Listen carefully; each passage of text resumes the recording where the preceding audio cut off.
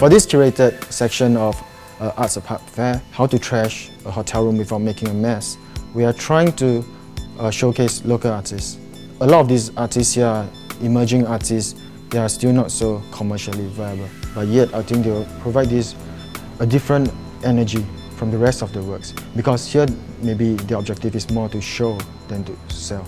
How is it different in hotel from other spaces? There are still constraints, but very different type. Like here, we can really damage the room. That's why we say we want to trash the room without making a mess. And hopefully we can keep to that. If not, it'll be very costly. You know, the rest of the galleries are generally commercial and it'll be a nice like balance for the whole show.